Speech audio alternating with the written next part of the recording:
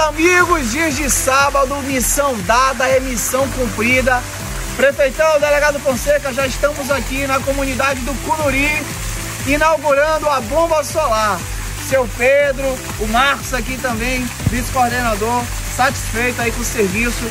Show de bola, nota 10. Também estamos aqui com o nosso vereador do Povão, Adeilson Lopes. É isso aí, Adeilson. Com certeza.